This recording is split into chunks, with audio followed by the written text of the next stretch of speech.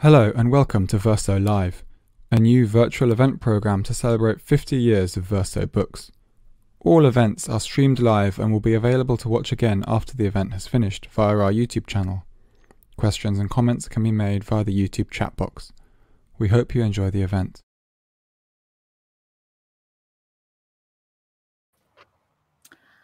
Hi, and good evening. My name is um, Ann Pettifor, and I'm published with Verso. I've uh, written the case for the Green New Deal. I am the author of the case for the Green New Deal. I'm delighted this evening to be um, chairing an event with the CARE Collective, a group of um, academics um, and activists who've produced this excellent manifesto, the CARE Manifesto uh, which I strongly recommend you get a copy of from Verso. Um, so we're going to begin by introducing the speakers. Uh, I'm chairing the event, but I'm really here just like you to listen to the contributions of these fine people and find out more about the collective and the CARE manifesto. So if we can begin with um, uh, Lynne Segal, who's one of the co-authors of the Care Manifesto. Lynne, hi. Um, Hello, Ann. Hello, and just introduce yourself, please. Hello, Ann. Yes, it's lovely to be here. I'm also a Verso author, but uh, I'm an aging second wave feminist, and I've written a lot about that, about um, feminism and belonging and politics, most recently on aging and also now attachments to others, on moments of radical happiness. But I've always been worried about the individualism of our times and the lack of care and concern for others, which has been so much um, encouraged just in terms of self-emancipation and um, and autonomy rather than thinking of how we're embedded in society. So that's what led me to think about care and the carelessness of our times. And uh, that's why I joined the Care Collective. In fact, I think it was formed to support me because I was wanting already to write about care. Fabulous. Thank you very much, Lynne. So, really, so this is about the politics of interdependence, and um, it's so relevant. It's so relevant this moment, this this COVID moment. So, let me call now on Jamie Hakim, uh, who's another co-author and another member of the collective. Yeah, thank you, Ann. So, um, my name's Jamie Hakim. I'm a lecturer in media studies at the University of East Anglia, and I uh, am currently working on a project that looks at the politics of intimacy. And so it was and kind of rethinking intimacy and what intimacy means to kind of different groups of people. Um, and it was really the overlap with care um, and intimacy that kind of brought me into this, into the collective. And, and it's that way, uh, those are the sorts of issues that I've written about in the, in the, in the book with the, with the others. So yeah, thank you. Thank you, Jamie. Um, wow. Uh, can I now call Jo Littler? Because Jo is another one of the members of this collective. Hi there. Thanks, Ann. Um, yes, I work at City University in London in the Sociology Department and the Gender and Sexualities Research Centre. Um, I'm interested broadly in like, so, um, society, culture, and power and inequality. I've written about meritocracy, so I got very interested in how we, we're incited to work hard, activate our talent, and rise to the top of the social pile, and how those narratives are all about individualism and self care. So I became very interested in how we're incited constantly to look after ourselves, but not think about collective care in the same way. Thank you so much, Jo. Now I want to call on um, Andreas Chatzidakis. Uh, hello, hi everyone. Um, uh, I'm Andreas Chatzidakis. I'm a professor of marketing and consumer ethics at the Royal Holloway University of London. And um, since my early PhD days, a uh, central theme in my work has been why consumers and people more generally don't care, or why perhaps they do care, but they fail to act on their specific concerns about other people in the planet. And I have engaged with various disciplines in my work, from sociology of deviance to psychoanalysis. But um, um, being member of a care collective has been an eye-opening experience for me, literally, both in terms of um, extending um, the concept of care. Previously, I had only engaged with uh, the idea of care ethics, uh, but also politicizing it and uh, acknowledging its uh, complexities, which we talk about in our book. Thank you, Andreas. Now, finally, I'd like to call on um, Catherine Rottenberg, who's going to both introduce herself, I hope, but also tell us a little bit more about the collective. So first, I want to thank uh, you, Ann, and thank the collective, and thank the audience who we can't see, which is still very strange after six months of Zoom. Um, so I'm Catherine Rottenberg. I am an associate professor um, in the Department of American and Canadian Studies at the University of Nottingham. Um, my most recent um, academic book is uh, The Rise of Neoliberal Feminism. Um, and my work has always been informed by feminist theory. Um, I've been a feminist activist for a long time, and I've been involved in various social justice movements over the past few decades. Um, but I want to also just say a little bit about the Care Collective and how it was created and what what our motivation was for writing the manifesto. Um, so basically, as Ann introduced us, um, the Care Collective was created as a reading group um, in the fall of 2017.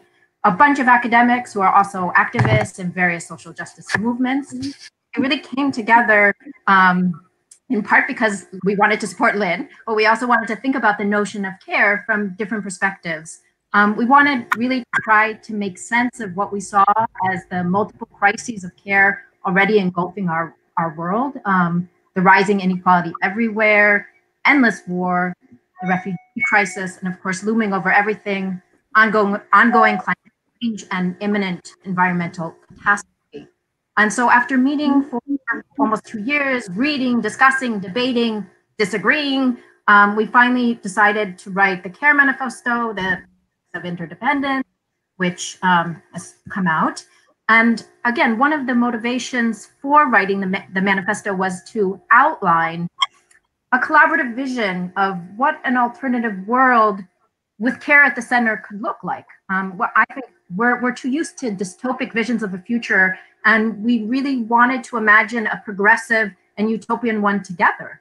Um, and of course, as we began writing, we could never have anticipated how grimly urgent COVID would make our manifesto.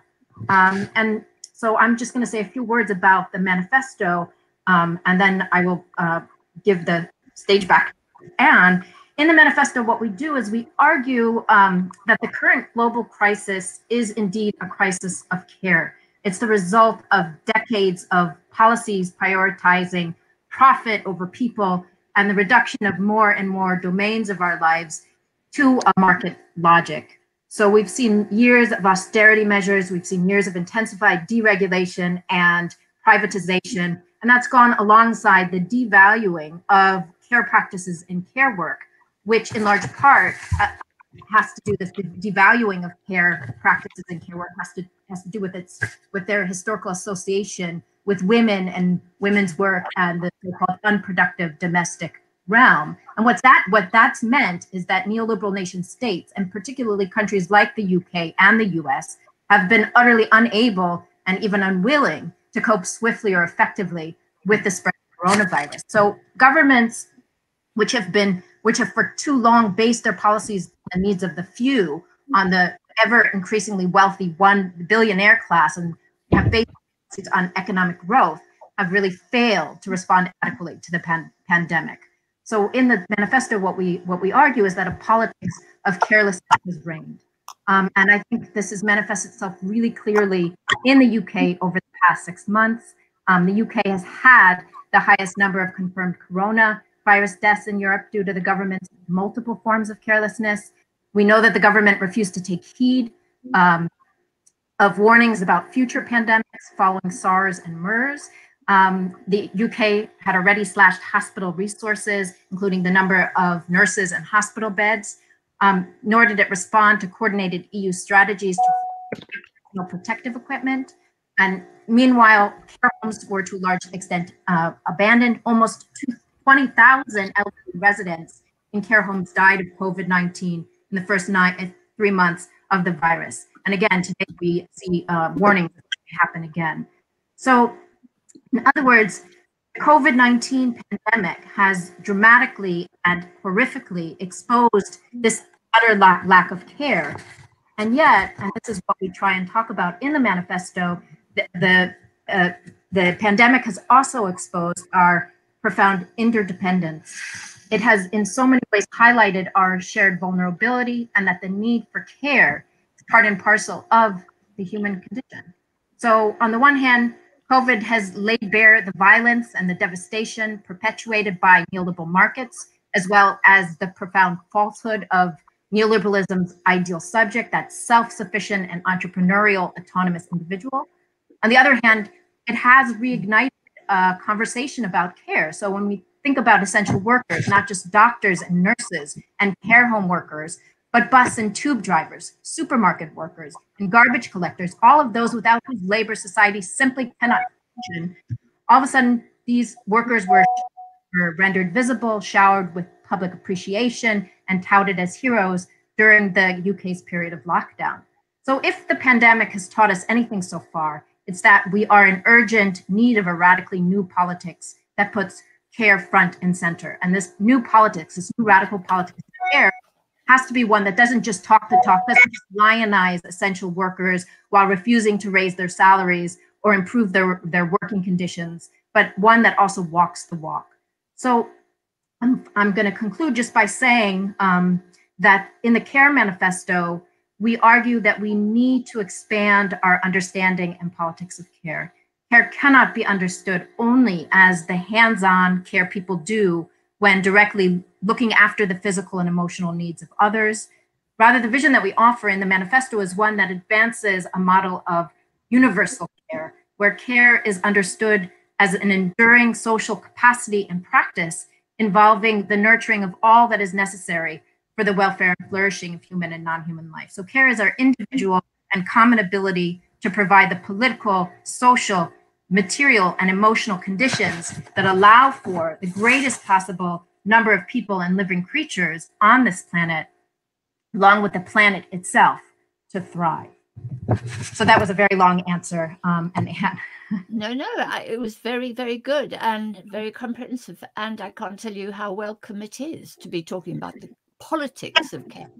But having said that, we've already had a question from one of our viewers who asks, "Did you have any healthcare professionals in the group? And if not, was that a reason for it?" I mean, I gather your picture is bigger. Your picture is that, you know, it's not just about the healthcare professionals; it's about e economics and society. Is that right, Catherine? Yes, that's right. yes, I mean it first, it, um, we did not have health professionals in the group, um, and the manifesto is basically um, an outline, a utopian and progressive vision of an alter alternative uh, world in which care is front and center. It's the organizing principle. But, um, but I'm going to let my my the Care Collective, the other participants, talk about the different sections, which will help answer the question. I think. Thank you so much, Catherine, and I can't agree more. Um, and I want I hope at the end we'll talk a bit about the Green New Deal. So um, can I go to Lynne and ask you, Lynne, um, why do you think caring work is undervalued? And and you speak in particular, you use a phrase, the disavowals of dependency. Um, what do you mean by that? What can you say more about it? Yes, um, uh, thanks for that uh, outline, Catherine. Very clear, I thought. Now, I'll get to the disavowals of dependency because, in fact, it connects with all the reasons why care has been undervalued, both historically and still today, because it's far from the first time that people have called to embed care at the heart of politics. Indeed, feminists have always made that call. They've made that call because for so long we know this has been the work that women have shouldered primarily. So there's our first problem. Care is seen as the work women do, or at least what we've been seen, what's been seen as our role, which traditionally went unpaid and indeed was barely thought of even as work. So that connects with why it was marginalized, and also seen as unproductive. And even on the left, real politics has always tended to prioritize jobs and not caring jobs, but jobs and what's seen as most profitable for the economy, what's most immediately linked to profits. So that's what we feel we have to turn around. For we know, like feminists before us, that the, uh, the economy actually completely relies upon the work of care and all that enables us to survive and, fl- and flourish and reproduce ourselves. That is, care is an essential part of the economy.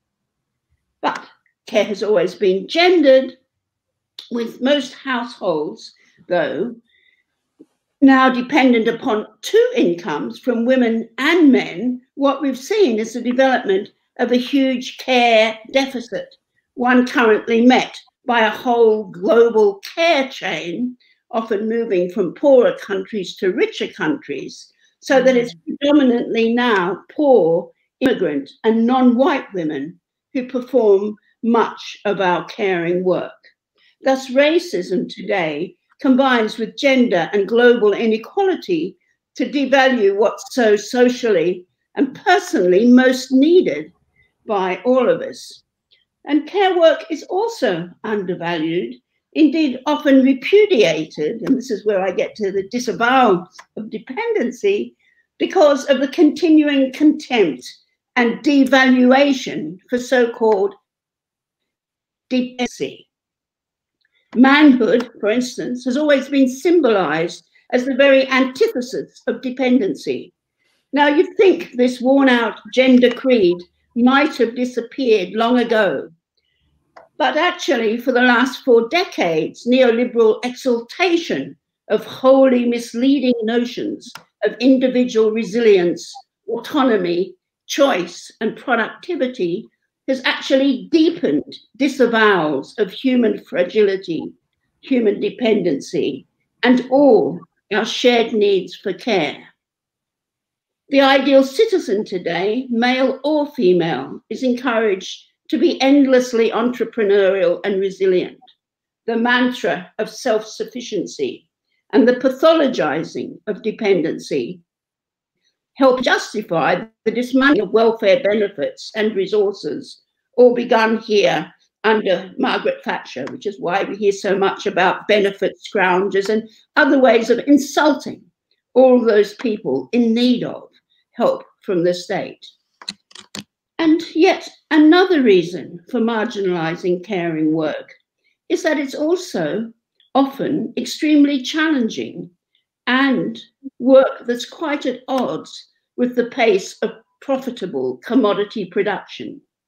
Indeed, the very concept of care overflows with paradoxes and ambivalence, often conflicting emotions, rarely their due respect and attention. For attending fully to the needs of any living thing, and hence confronting vulnerability can be both difficult and also exhausting. So, hands on caring, however rewarding, however much we really want to be doing it, can also be daunting, bringing us into contact with our own and others' mortal embodied selves. So, this is also why caring work has traditionally been relegated to the domain of women and servants, and somehow just for doing it, they've been deemed in theory inferior, helping others disavow their own inescapable vulnerability and inevitable mortality, which they really don't want to think about. Moreover, the challenges of care and anxieties over doing it well, even doing it adequately, can even can easily fuel resentment in caring relationships especially, of course, given its cultural devaluation, even within that mythologized mother child bond. And this is why feminist clinicians and other feminists, such as Rosie Parker, have stressed the inevitability of maternal ambivalence and the confused and contradictory emotions that actually mothers always have towards their children, but are expected to keep hidden. Thus, both positive and also negative emotions entwine with capabilities to care. And it's precisely because of this complexity and the challenges of care that we need to fight to ensure the necessary social infrastructures that can assist us in caring for others, whether near or far. Because we know that the pressures of today's job market routinely mean people barely have time to provide for the essential needs of their own dependents, let alone to pay heed to the situation of others. So, more time and adequate material resources are simply essential to facilitate mutually fulfilling and imaginative practices of care at every level. Thus, far from public spending creating so called pathologies of dependency, the reverse is true. Only with adequate and secure resources can anyone, whatever their needs, develop and maintain whatever cap- capabilities they have to ensure some sense of autonomy and escape being rendered passive and helpless. This has been well illustrated by disability rights activists who argue for forms of independence in which some control over their lives is key, precisely despite and because of their distinct needs for care, because of their recognition of their own dependencies. So we have to begin by jettisoning that destructive linking of dependency with pathology, accepting that we're all formed in different ways in and through our interdependencies. And that's what reimagining a caring politics entails, alongside understanding those ambivalences that care can generate. It means fully valuing all the skills and resources necessary to promote care in all its manifestations. For we all need both to give and to receive care to sustain a sense of our common humanity and to co- confront our own fears of human fr- fragility and frailty rather than simply project them onto those we choose to label as dependent. Thanks. Gosh, Lynne, that was so fine. Um, thank you very much for that. And it's so really interesting given this particular moment. I, I, I live in a rural area and I was very struck by the failure of our economy, of our institutions to provide care, but also by the willingness of the community to, to care. And it was sort of very basic and very fundamental um, and very spontaneous. Um, so, so it's in us all. But mm. you're quite right. The economics and the politics have actually insisted that we suppress that dependency. Um, and so this is this is fascinating. Absolutely. Thank you very much. I, but I should stop chatting and move on. Um, I think the next person we have is is Jamie Hakim. And Jamie, you're going to talk to us about caring kinships and what you mean by, and I found this fascinating, promiscuous care. Can't Unmute. We can't, hear, we can't hear you.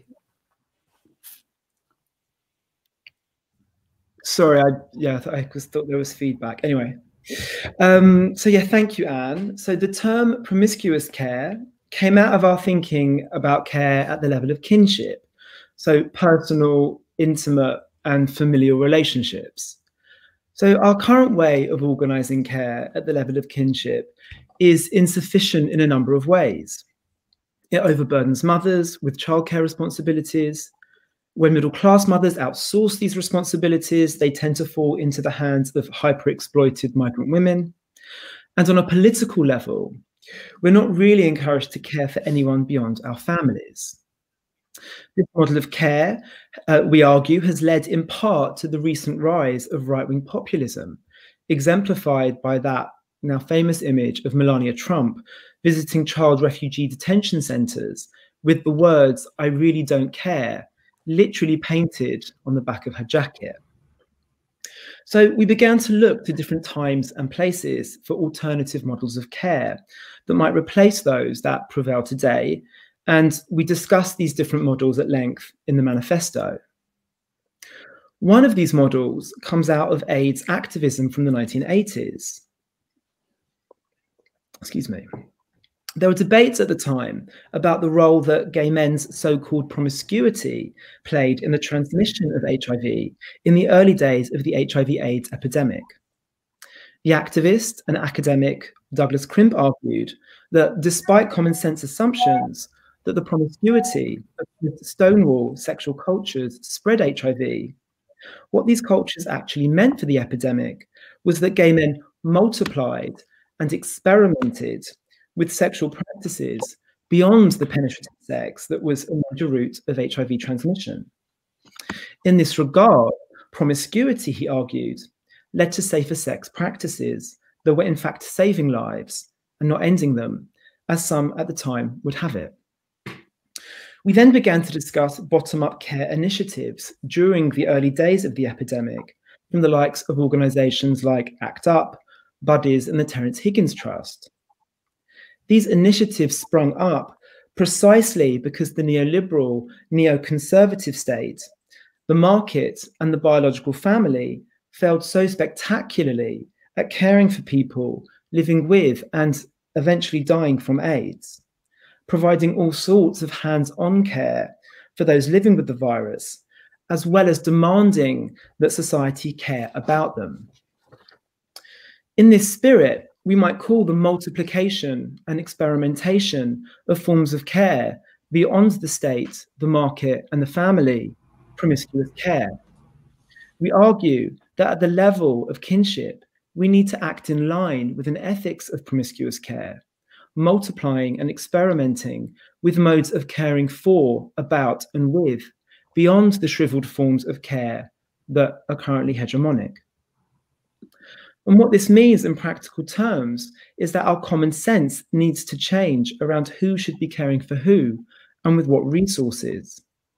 We must normalize an egalitarian model of care where everyone can care for everyone, not just hyper exploited, feminized, and racialized subjects, and that a radically democratic state must resource these experimental caring arrangements.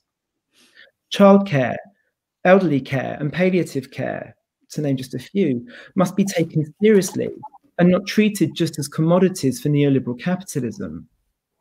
We must proliferate and expand our circles of care beyond our families and those designated as our fellow citizens. And if we're to stop the mounting refugee and environmental crises, we must reimagine the stranger and the non human world as if they were kin. So for us, promiscuous care is really about the question of who we care for. And advocating for an ethics of promiscuous care is a first step in building the psychic infrastructure of a new society that has universal care at its heart. Thank you. Thank you, Jamie. Yeah. And sure are right about the campaigns around HIV AIDS and in particular ACT UP. Incredibly caring, far more caring than the institutions at the time.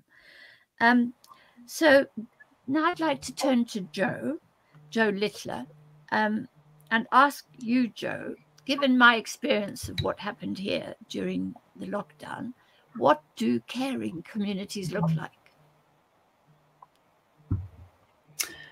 Okay, thank you. Um, well, they don't all look the same for a start. And in the book, we draw on a wide range of different examples, both past and present, for inspiration. Uh, but they do tend to have certain features that together create what we might call or think of as social infrastructures of care. So they always involve shared resources, uh, which might and we think should include things like free public broadband, ubiquitous water fountains, and sharing not only books through public libraries, but things like kitchen hardware, garden tools and toys, all those kinds of equipment that people use once or twice a year or just for a short space of time. And there are plenty of small examples of these kind of libraries of things already in existence. Um, caring communities, we think, always involve shared space by creating more public and green space. cycle lanes, pedestrian and play streets, parks and community centres. And they also facilitate shared activities of mutual benefit, as in how, for example, the GLC, the Greater London Council of the 1980s, was so creative in democratising um, community media and arts and culture and creating festivals that were genuinely diverse as well as the newer forms of municipalism, radical municipalism from Preston to Mississippi to Barcelona, which are facilitating the rebirth of the high streets, co-ops and pushing for affordable housing as they offer models of what's sometimes called community wealth building and make international alliances, um, such as through the transnational gathering Villa Cities. And we might, like you said, and think also of the great mutual aid neighbourhood projects that have sprung up during the pandemic. So local experiments we think are really important in creating caring communities, um, but also at the same time, so is scaling them up uh, for sustainability and size. So here we might think of how, for example, um, the women's liberation creches of the 1970s ended up leading to kind of infrastructure of, of local nurseries, or we might think of how the Tredegar Mutual Aid Society um, of the uh, late 19th century led to the formation of the NHS.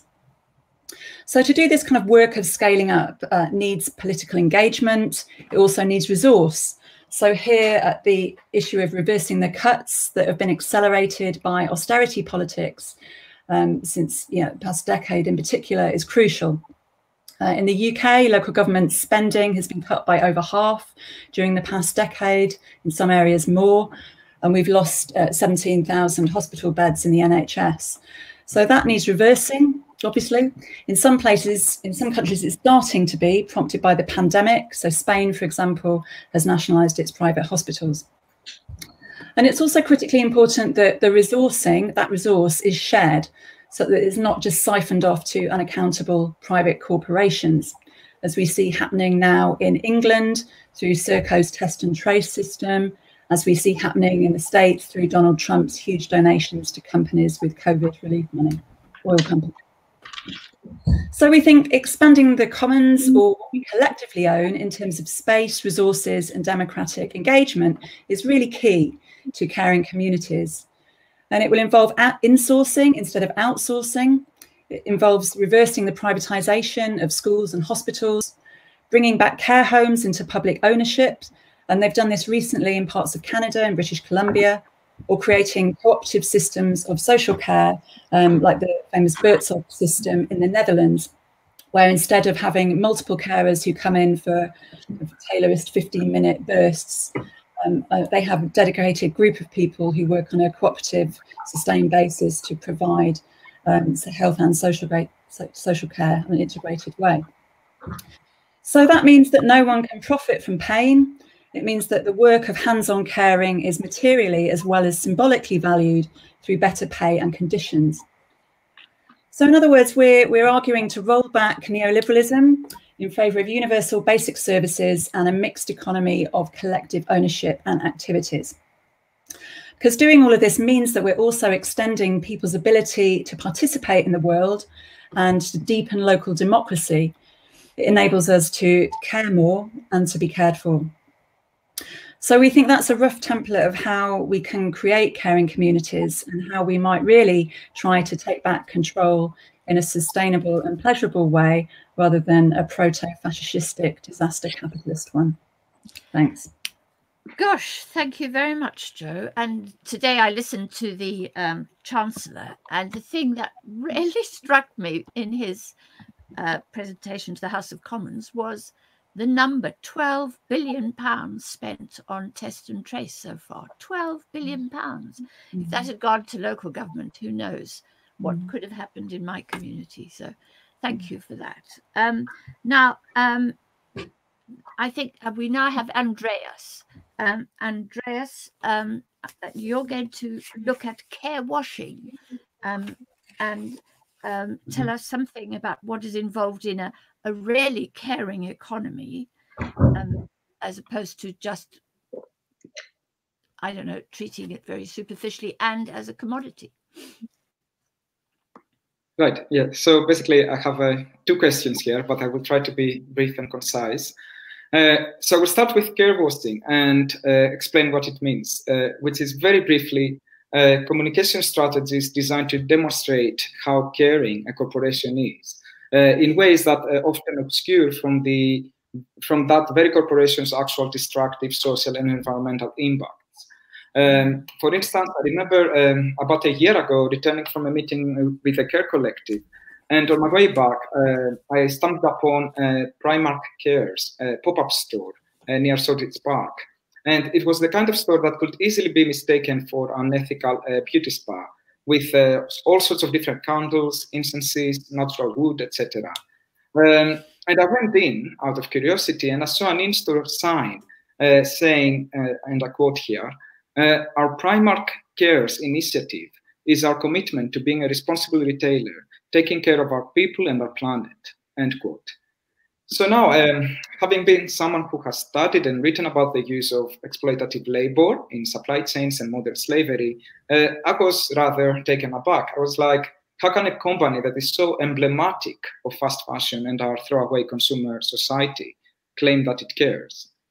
Mm. So what is interesting at the same time is that post-COVID, uh, during post-COVID, such campaigns proliferated. I actually started uh, keeping a record of them. And literally, platforms like Facebook and Instagram were saturated with uh, worst messages by the good, the bad, and the ugly of the corporate world, from HSBC and Lloyds to Uber and Actimel. Uh, even Amazon, a corporation that was, uh, as I'm sure we most of us know, was ordered, among others, to close its French factories on the basis of not respecting health and safety standards, uh, ran a campaign claiming the opposite. And I quote here Keeping our people safe while, while getting you the things you need has never been more important, end quote. So during basically a period of reduced mobility, social isolation, and increasingly digitalized lives, we were constantly and persistently reminded that corporations care um, in ways that perhaps we should begin to suspect the very contrary. Um, we are aware, of course, I'm in a business school, and uh, you know we are very aware that um, care washing joins a very long history and genealogy of corporate talk around social and environmental issues, from corporate social responsibility statements to cause-related marketing initiatives such as Tom's One for One shoes, uh, to charity credit cards, and so on and so forth. Uh, perhaps the key difference, and that's why we like the term care washing, is um, we the observation that over the last two years uh, corporations' engagement with the language of care has taken place in far more explicit terms, uh, mirroring perhaps, and that's what we argue, the realities of our now multiple uh, societal, environmental, and public health crises. So that's what care washing briefly means. Uh, but you also asked me on uh, what a caring economy, what a really caring economy would look like.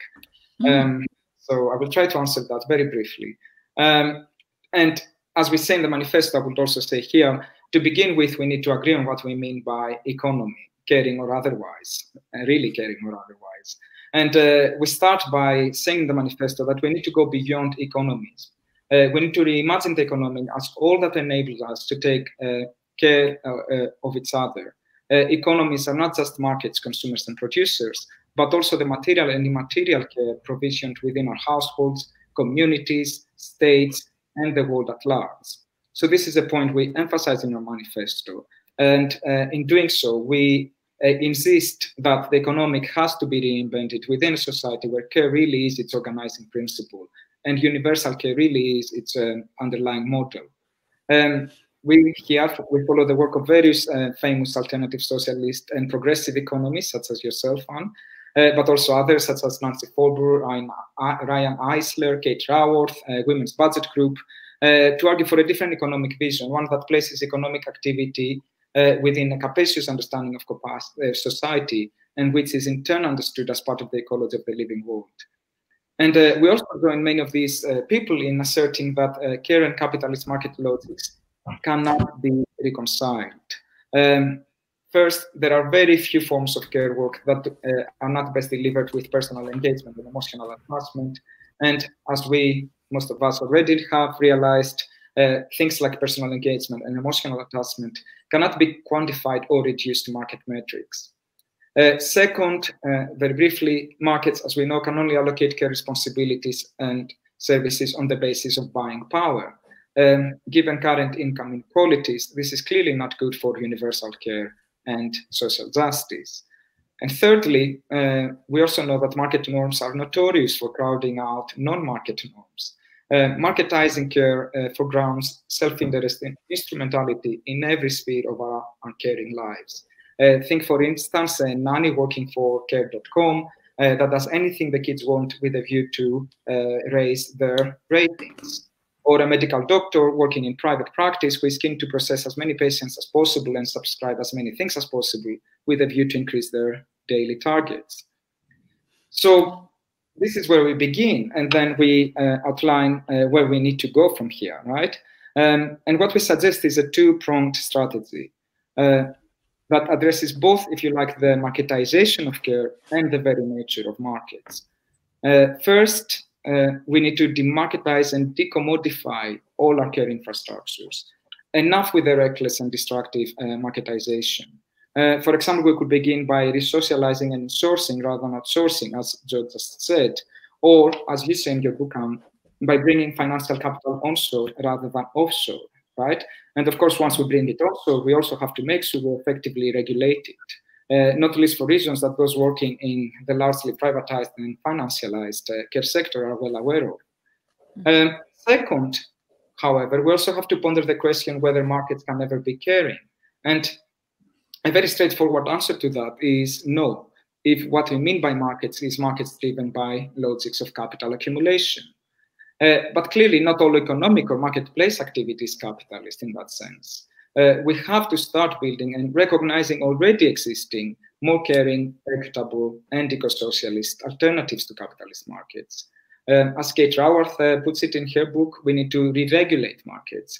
And such re-regulation and reconfiguration can take many forms from cooperatives to nationalization, progressive municipalism, localization, public common partnerships, and so on. Through all these strategies, what is key is to ensure that consumers uh, are reconnected with producers and care receivers with caregivers.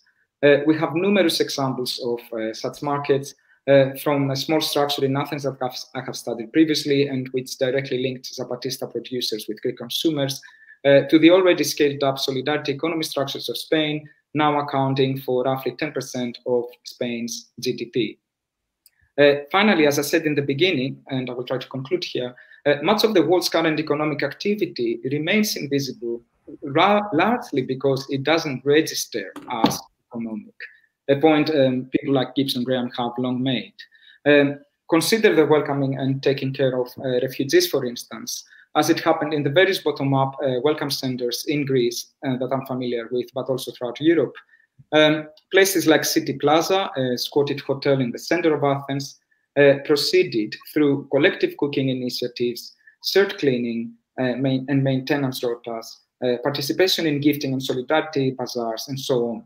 Uh, what such practices had in common was their embracement of anti and non-capitalist values of collaboration, sharing, mutuality, and co-production. Uh, the Scot, in other words, was not simply about providing care to refugees, but rather it was about the development of equal and reciprocal relationships within what we could describe as an informal economy that defied both logics of banal carelessness and logics of capital. That will stop there. Thank you so much. Um, first of all, thank you to all of you. That's been really inspiring and made me very envious of your the sessions you must have had together. I wish I'd been a fly on the wall. They must have been intellectually so very interesting. So thank you for that. And while I'm here, can I just welcome our visitors, our, our viewers? I see we have someone here from Lisbon, from um, Manhattan. So we've got a wide variety of people and, and they're all welcome and really pleased to see them here. I want to just make three points and one and they, to, they really are sort of to do with the green new deal in a sense. What was so striking about the lockdown and covid was that we realized for the first time that we the people the workers make the economy essentially. And some of the most important players in that were health workers were carers. Um, you know footballers had no role to play what at whatever. Um, Billionaires, on the whole, were entirely irrelevant. The state, the collective effort of the state was what was needed. But it was the concept of the fact that ordinary people made the economy that was so powerful to me. You know, they they cared for us when we were ill, they and saved our lives. You know, you know, our survival was dependent on them, but so was our survival dependent on truck drivers and shelf stackers in supermarkets and people that carried on producing food. All of these people are low paid, undervalued, as you argue in your book, um, and and de- and commodified. But actually, they are actually the most valuable part of the economy. They are the without them there would be no economy. And I feel that we have to gain the confidence of that knowledge and that understanding um, in order to understand our power over the economy. So I wanted to say that. The other thing is that care worker care working is a service, and as such, it will be fundamental to a Green New Deal because the point about services is that they're not as greenhouse gas emitting, they're not as invasive, they are not as extractive as most other sectors of the economy. Mm-hmm. And so they are going to have to become a much bigger part of the economy. And my final point is this you know, what we should be cheered up by your strategy and by your, your thinking that you've done for us in order for us to develop strategies further into campaign. And thank you for that gift. Um, is that we've done this before. We can do it again. Of course, it took a catastrophic world war for us to set up the National Health Service and the Beveridge Report and so on. But we know we could do it, and we did do it, and we did it to a capitalist economy. So we should take heart from that. I particularly take heart from the 1933 Roosevelt administration, which transformed the global economy, not just the American economy, and and provided essential services like restoring the soil, basically, um, and to restore um, environmental stability. So I've said quite enough, but I just so much value what your contributions tonight and this book. So thank you so much for it. So are there any other general questions? I've had some questions here. Um, and uh, they're largely to do with um, why does it take such a large crisis for the notion of care and interdependence to finally become urgent? Why do you think that's so? What is it? Uh, it uh, Andreas is going to tell us it's because of the capital of capitalism, but but does anyone want to uh, answer that question from a viewer? Lynne, yeah, uh, yeah. Well, it is strange, isn't it? Because the crisis of care so long predated COVID. In fact, we were meeting and writing about this very big crisis of care several years before COVID came along. I think that some people were aware of it, actually. There was more talk about care. Care was coming up people's agenda, but it mm. really came to the fore everywhere with COVID. It just as though we had to have a disaster, a catastrophe to stop us in our tracks. And we were stopped in our tracks, weren't we? We could, couldn't go to our everyday jobs and so on. And mm. then, as you mm. say, mutual aid took off and we started caring for each other. The big danger now, particularly when COVID is so much back again, is are we mm. going to be able to maintain this? And um, mm. crises bring things out, and then then people get tired and unsure about it. So I think mm. people are aware of it, but you know we need time and resources to deal with it, and that's what we've got to just keep on pushing for, you know, whether it's through the Labour Party, through our community organisations, through our jobs, just keep pushing for more time and resources to care. Well, that brings me to this question, a question for Jo. I mean, what do you think the opportunities are around what's happening now um, for um, for care, for for making the ideas in your book a reality? Oh, tough one. Um, well, I guess connected to the pandemic again, you, you see a, a, burgeoning of uh, smaller scale, in particular, initiatives around mutual aid that are really flourishing and show people's creativity and ability to um, act in an interdependent and sustainable way. But then you, at the same time, um, uh, and we have, we do have kind of encouraging and heartening national responses, which hint at um, what the state can do. You know, mm. Spain. I, I, mentioned Spain taking its private hospitals back into public sector as, as one good example of that. And you know, there's initiatives in Germany that are similar. So there are, on the one hand, we have we have those kind of um, embryonic creative projects and um, the resurgence of the idea that yeah. the state can provide, which was, you know, apparently unthinkable. There wasn't yeah. the magic money tree has been rediscovered in many ways. But then we also have um, the intensification of, of neoliberal disaster capitalism and the kind of the cronyism of the oligarchs taking that money and siphoning it off for personal gain, um, which needs to be more publicized. Um, because obviously they own a lot of the media as well, are offshore billionaires. Um, so it's it's it's a it's a multifaceted you know field, isn't it? It's it's a, there's problems and there's opportunities at the same time. So thank you for that, Jo. But Catherine, perhaps you could say something to enlarge on the point that Lynne made about um, the refusal of men to acknowledge their vulnerability, their dependency. How do we do this at at our you know at our at the level of the home and at the level of the family and at the level of the community?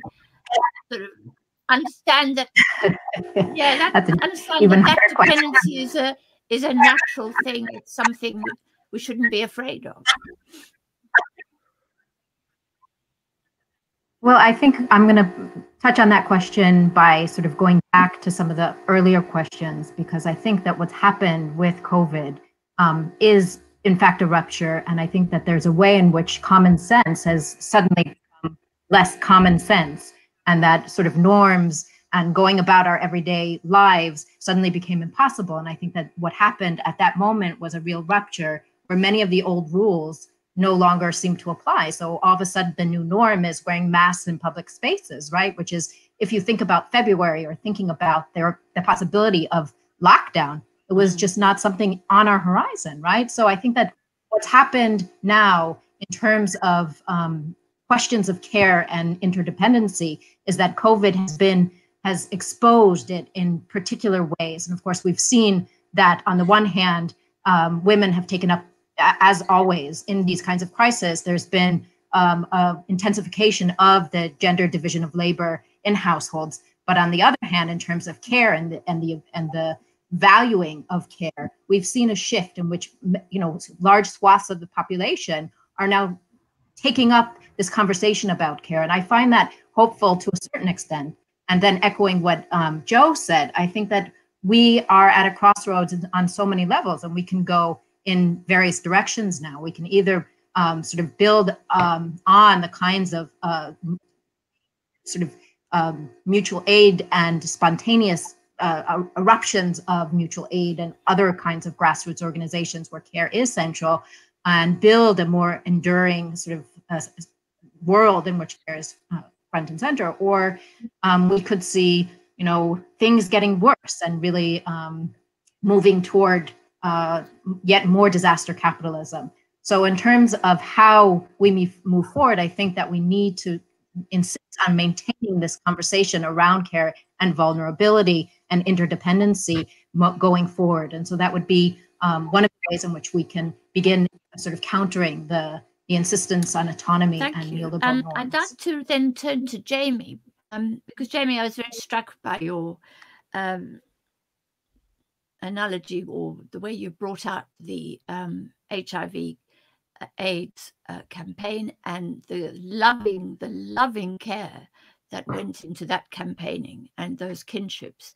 And the thing about the HIV, the campaigns like ACT UP and so on, was the fact that that kinship extended well beyond borders well beyond the communities of uh, gay communities, but well beyond gay communities in the United States in the first instance, and then internationally. Can you talk more about those kinships?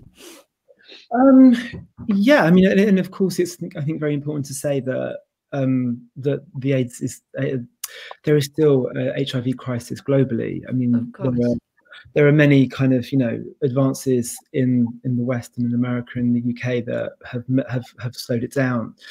um, but kind of globally that still exists. And I mean, I can't necessarily speak about historically those kind of connections, but yeah, I mean, one of the kind of principles, I guess, of promiscuous care is is precisely to model itself on that capacious sense of who you care for. Um, because obviously it's important to say that during the AIDS crisis, often biological families didn't; they rejected um, kind of uh, LGBT, uh, the LGBT children, and they couldn't necessarily go back to them to ask for the care that kind of you know a Reaganite uh, model of care wanted, and um, and so yeah, so I think that kind of stretching outwards of uh, sometimes uh, of who you care for. You know, we we go right across the spectrum in the book. Um, so not only to kind of strangers across the globe, uh, mm.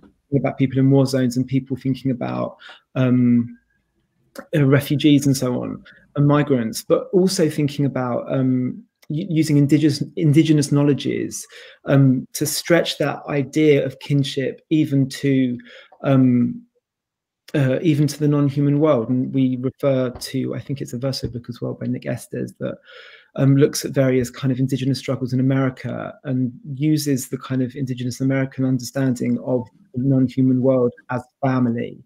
Um, yeah, and and so I th- I think, and you're right to absolutely bring that up. It wasn't just simply about people in New York or people in Chicago or even people in London.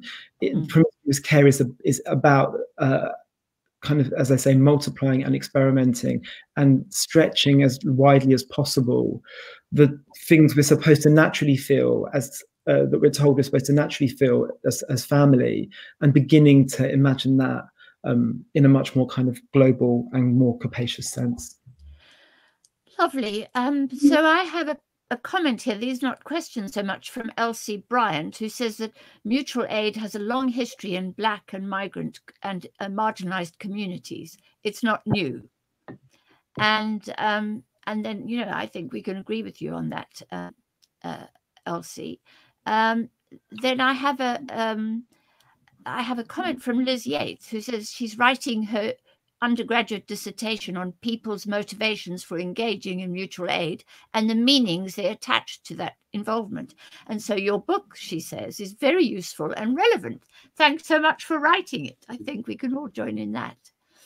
And um, we've not got much time left. I wanted to make one more point, which which I think is a mild criticism of the book, that from my perspective, which is that you're not really discussing the economics of this. And it seems to me, uh, perhaps in a very broad sense, but one of the things that's striking is about how we are so determined to pay carers so little, really, and and and to provide them with very little training and very little, if you like, upgrading of their work.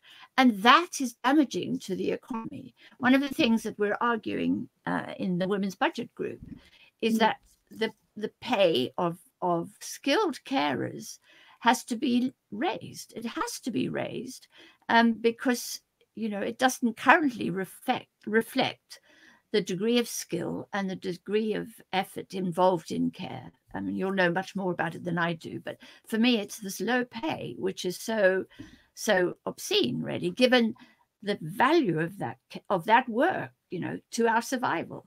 But also, there's a broader economic point is that if we lifted the, the pay and, and skills of carers, if we had higher paid, more skilled, so, uh, higher paid and better skilled carers, that would help to balance the public finances. One of the reasons the public finances are out of kilt is that um, so so many people are in precarious jobs low paid temporary jobs which actually don't pay enough tax.